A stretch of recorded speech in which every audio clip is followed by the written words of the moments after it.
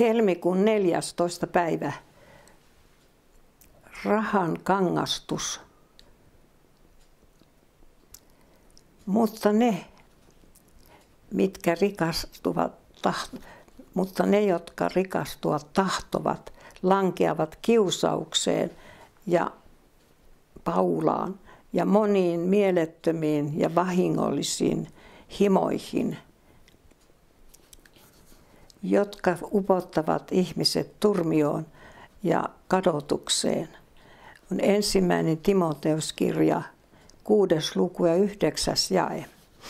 Ja raamatun ihmisestä antama kuva on mielessämme oikea.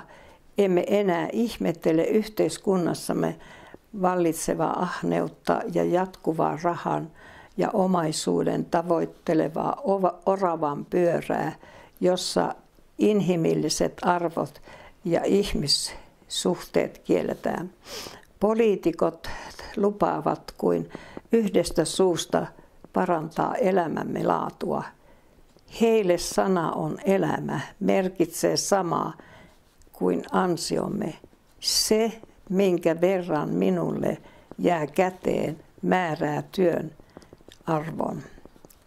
Silloin tällöin materialismin unelma kuitenkin toteutuu. Toteutuneita unelmia on niin paljon, että ne saavat materialismin edelleen haaveilemaan uhkapelvurin jatkamaan pela- pelaamista ja palkan nauttijien täyttämään kuponkeja. Rahaa pidetään elämän suurimpana täyttymyksenä. Ne nykyajan suuntaumuksissa laaditut analyysit, jotka eivät ota huomioon ihmisen perusitsekyyttä ja ahneutta, jättävät tärkeimmät asiat huomiotta.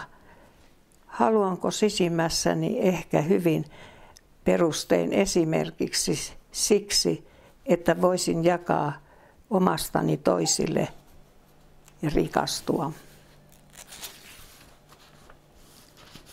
Herra, älä saata minua kiusaukseen, vaan vapauta minut ahneudesta.